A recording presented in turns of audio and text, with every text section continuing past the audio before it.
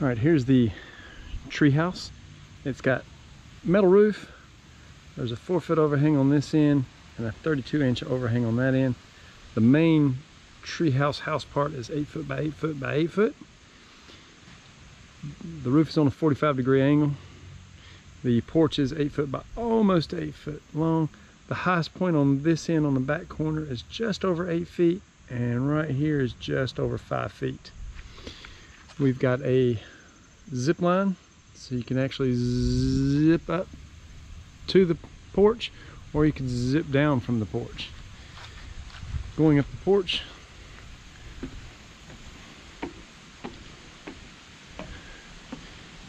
here we've got sliding glass doors. Went with sliding glass because they were about the same price as a standard door and screen door, but it wouldn't be swinging in, taking up room. As you can see, here's the porch with the handrail. There would be the cable ride going down. You get the screen door on the sliding door and then glass. And then inside here, you've got the two windows. You've also got the screen gable vents on both ends. But you also have, for the windows, the walls are framed out. I could actually put in four more windows if I would like. In this corner over here, we have the trap door leading out. Kind of like a little secret escape entrance.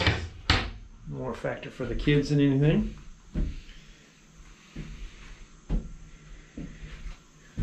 And then nestled in the the woods here, and some people will ask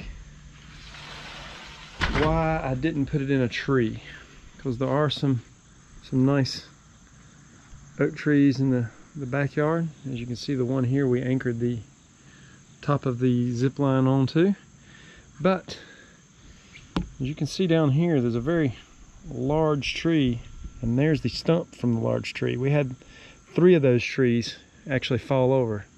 This area is a little bit on the downhill side it's in a little valley depression and a few years ago we had quite a bit of rain and those trees, the roots weren't strong enough to keep them up with the rain and the wind.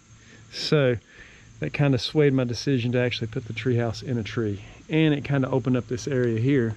So when you're on the porch, you've actually got some natural sunlight coming down through the trees.